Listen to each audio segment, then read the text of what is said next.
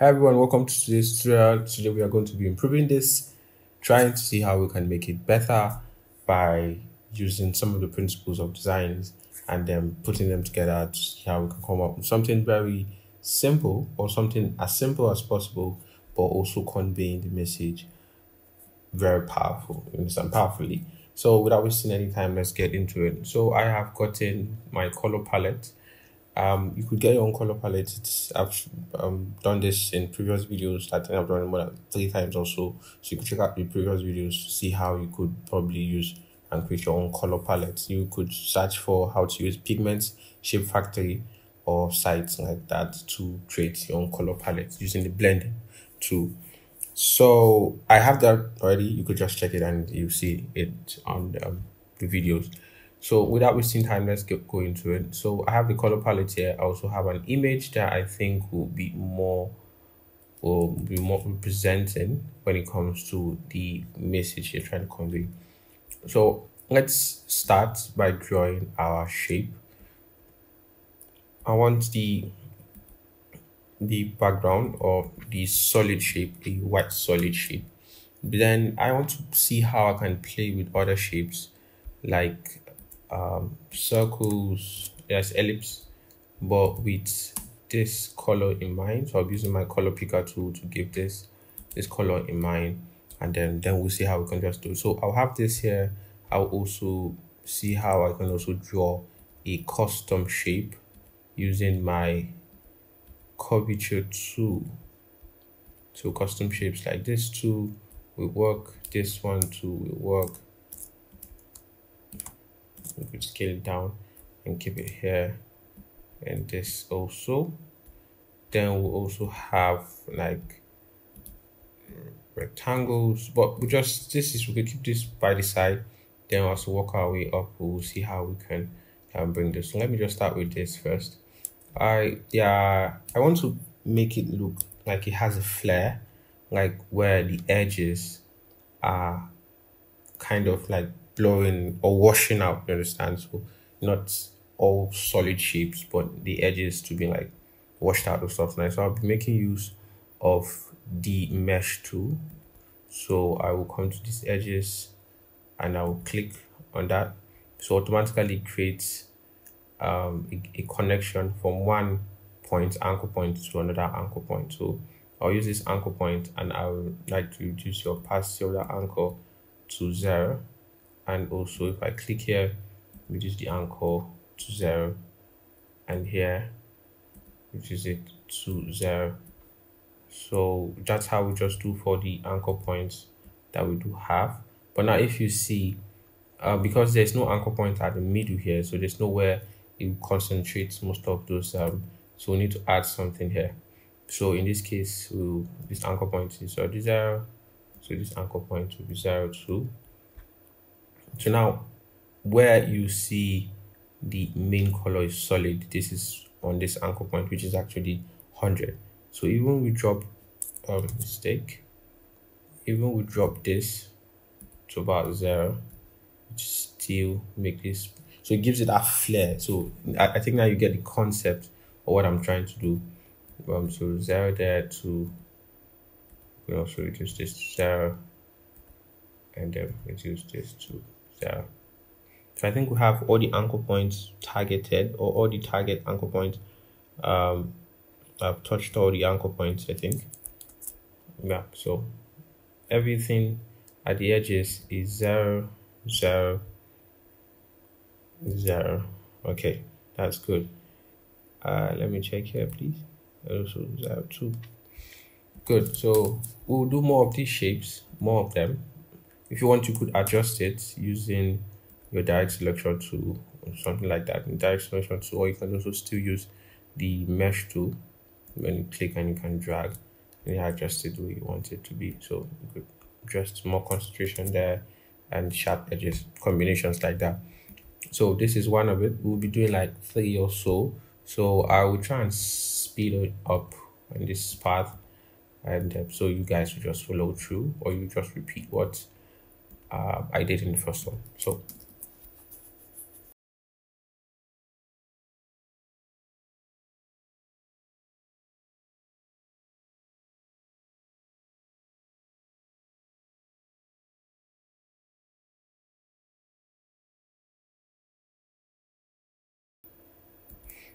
Okay, so I think we're done with the whole um, mask and so the rest we just try and duplicate it. So um, some of you might be watching and wondering why I'm not using gradient because the gradient could do the same thing. Let me just show you what the gradient, the problems public gradient will give us. Um, so let's add this guy to the swatches.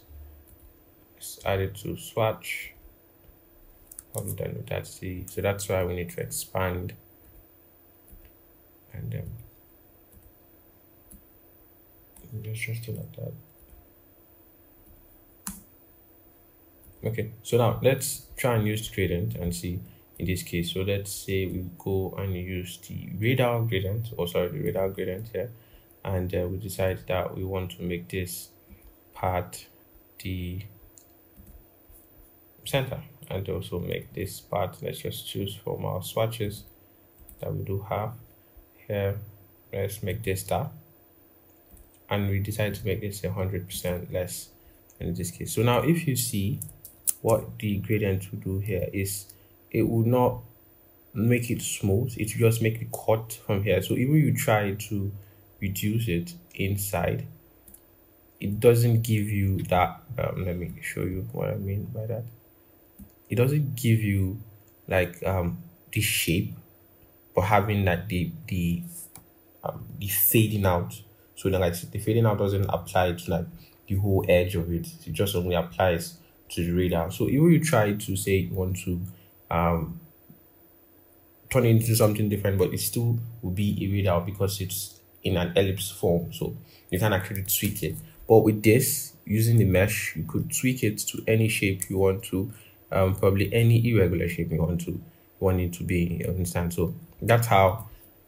Um, that's basically the benefit of using the mesh tool. So so that's just it. Let's take this one off and let's see what we want to turn this into. So we will be making some duplicates of some of them and uh, i think just seeing how we could show one or two some make, make some of them smaller some of them would turn them inside out some of them just like that. So we tweak it and see and find something that basically works for you. So i think this can be here and this and this and that Good. So some of them we can add blur to it in case we don't want it to be too pronounced. Like I think these ones are more pronounced. So let's use Gaussian blur. We could bump it up to 30 and okay. And you can also do same. So um, if you get you actually get the idea of what I'm saying, I like using each SB that just bring it down so it's not too it's not pure white. So it's more into the green like that. So now we bring this guy to the top here and then draw, scale it up. We still scale it up a bit more. Um, drop it down a little bit. Good. So let's take it off. I just want to get the shape of what I want to do. So in this case, let's use the normal regular, the normal rectangular tool. Make it a into bigger let's keep it there and um, I want to do a duplicate of it. I want to just do something. I did this yesterday. It was, it was something new I tried, but I want to actually show you how I did it. So uh, we'll make a duplicate, right? This is just a shape here. So Control C, or you could go into Edit. You go Control C, which is copy. Let's copy here. Then we'll go Control Shift P and Control F, sorry, which is place in front. So now we have two of the shape placed in front. So what we'll do here is we'll scale in these corners, make it bent. Then we'll come to, um, what's it called? Effects, then we'll go to Gaussian blur. Then we see if we can bump the blur up. And there is this blur it gives. Let me take it down and bring this here. Let's take it outside so it becomes more visible. So now you see that 40 is actually much now you can reduce the 40 to something like uh, yeah. So you could use it to that. And in case it's not enough probably it's not pop it's not like that soft. You could come into stylize and make it an outer glow. Change outer glow to something white but not too too white. Then increase the blur to about 20 and uh, let's see how it is. Yeah good. So if you notice is a curve here. We could scale it up out and see how it looks. Good. This is what i wanted to do. Select the two of them bring here in front. Let's bring our image in here. And um, okay so what i'm saying so what we do now what we do next instead sure they are grouped take this to the top here. Let's change the background. Mm. I think it's too green.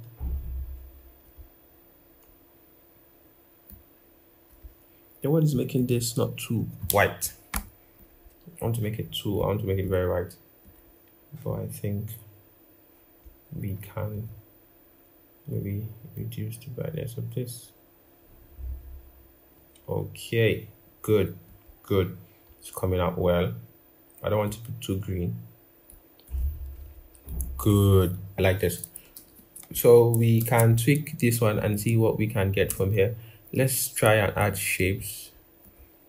Uh I made a mistake. So the mistake is I shouldn't have applied all those effects to the other ones we can just have this copy it so let's just copy that and paste. So we do our edit first on it. I want to make it look like more so let's see what is it saying here. African vibes digital tribe uh, Mr. Graphics MS Graphics. So let's see. Let's just make it like more of um more something like um like a code or no not code but let's just see how I can tweak this. I don't want it to just be plain rectangular shape. Let's try and do something with it. So let's say shoulders will be around here but we want to just make it probably extrude this place and see what we can do. So we'll go into our pen tool at the point here. And then we'll come to our direct selection tool also go back to the pen tool so you add another point close to it. We'll go back to the direct selection tool. Bring this down. You also add another point here. Use the direct selection tool and bring it down also. You can click on that side call it. Click here to you call it. Good. Now so let's do what we did here here. Control c control f come into here. Let's go with stylize first outer glow. Remember the figures 75 percent opacity ensure it's still on screen then make it blur. And okay. Then we'll come to the effects. We go to blur to Gaussian blur and you can increase it to 20 if you want to. Then I'll turn this to the back. But now if you check something here and probably want to edit up any of those effects it's going to show this here. So for you to be able to use or edit any of the shape. You need to go to the appearance panel. In case you don't see the appearance panel you go to windows and you see appearance here and then you go. So you can edit any of them individually the gaussian blur or the outer glow good. So i think it's at the back. Yes it's at the back. So we can also scale this down inside a little bit so it makes the pronounce more pronounced so group them together um, let's make it duplicate. So let's delete this one make it duplicate of this like so. And in case probably you want to cut this part but i think there's no need for it. You could um just probably draw a shape like this. Ensure it's curved like that. Remember to remove the fill please. Cancel that. And select the shape. Then use the shape builder tool and um, you can subtract this part. So you have that curve there. Just click and drag. Hold on your alt ensure you're holding on alt. Then you click and drag so but in that case we do not want this. Let's just continue what we have. So bring this guy to the front uh, in case you want to um, take this down. Nope not too down like that now we can have this duplicate send it to the front so it adds a little bit of flair to it. So let's delete this one. Take it up. And um, you two we can bring you up. Rotate you. Mm, yeah. So it's making sense. It's making more sense. So let's see. African tribes vibe sorry digital tribes so i want africa to be i do not want to respect the english language. So let's use satoshi as we've been using for quite some time now. Let's pump it up and see. Let's choose one of those colors we have if it's not adding up for us then we can go with the darker shade of it. So let's come here swatches and you dark. So we can see african vibes reduce the space between them. Hold on the alt key and use the up button. Uh, it's too much, it's too much, it's too much. Good. Let's reduce it.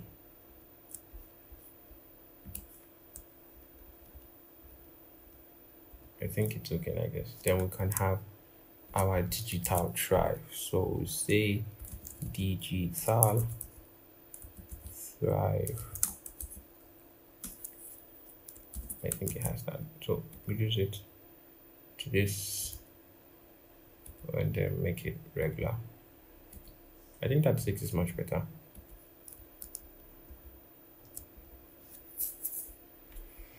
Then we have the rest of the many contents there. Those ones will be like probably make them black also, but not entirely black grade. So we see where every um, design tells a story. Um, embrace the rhythm. Um, sorry. Okay, that's it. Rhythm of Africa. African vibe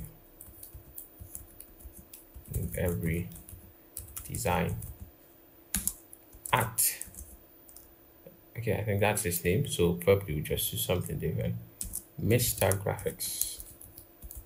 Or mr graphics just mr graphics. Full stop then let's give space. I will adjust those later. Return pixels into stories that dances. That dances. So so we make that auto and we reduce it to 21 and then zoom in in case it's uh, we can now adjust it. Embrace the rhythm of the african vibes in every design at mr graphics. Then we turn pixels into stories that dance. So I like this. And um take it up, up a little bit. Mm -hmm. so here too also you can do the same thing we did here. Uh, we could use the mesh tool let's zoom in a little bit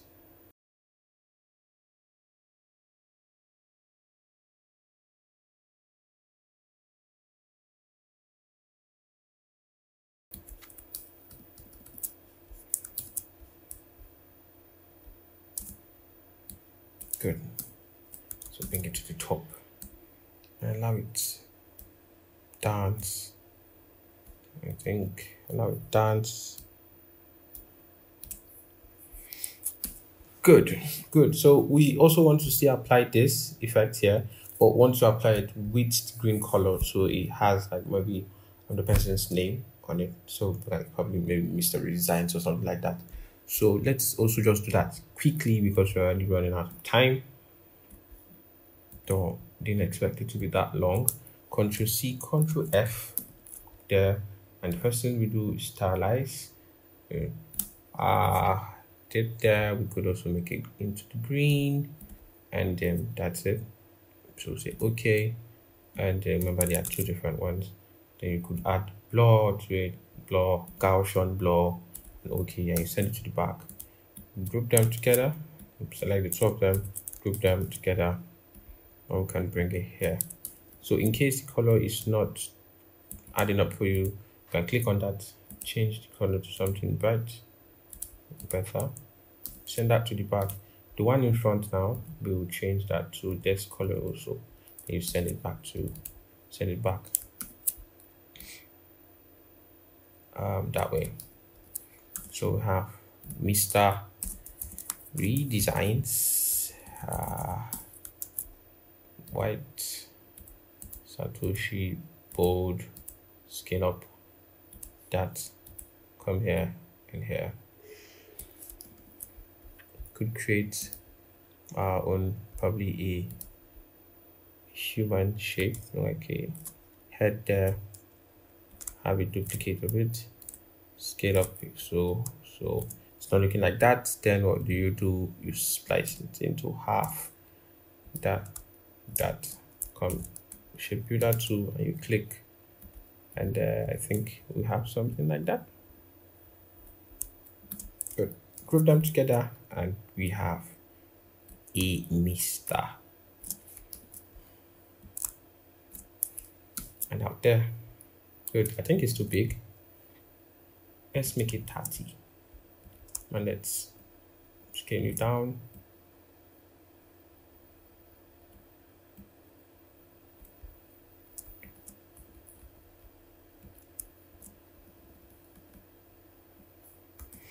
So there was one time in the design industry where everyone was making use of lights. Then, like in all their designs, basically every design you see, you see lights in it. So let me just show you how I can do it. I've shown you before, but I also want to just do it here. So let's just do sharply one light before we go. So I did 27 minutes and spent on it. So we will use a bright color here, but we'll be using our gradient not this one. So this one. Paired with. Let me just okay let's go down. Good. So we already have an initial light like this. Good. That is good light. Let's duplicate that and use our roughen and to have depth. Much if you want it to be smooth that it will also do. And um, depends on what you want to do with it. So you can combine the two like this. So it has the center which is like the focal point and which is like where the light source of the light is coming from. Then you have the ray of the light and then you have like like spreading of it. So you can group them together let's duplicate this part. And uh, i think there's something let's ungroup uh, remember it's gradient so the center of it should be more brighter. Yeah that that would do. Same thing here but not too much though. Then now we can put them side by side each other and group them bring them to the front bring them to the side here then I would like to use a blend. I like to use soft light most times. Soft light and overlay and see which one works better. In case they are too much, you can reduce the opacity. Them. Uh, let's see here.